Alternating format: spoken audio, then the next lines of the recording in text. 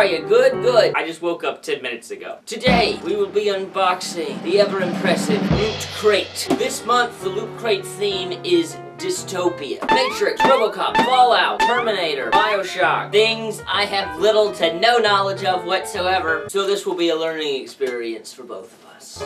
Bam. Oh, wow. I wish I knew things. We have a Fallout. Dorbz. But what are you? Who are you? Hmm?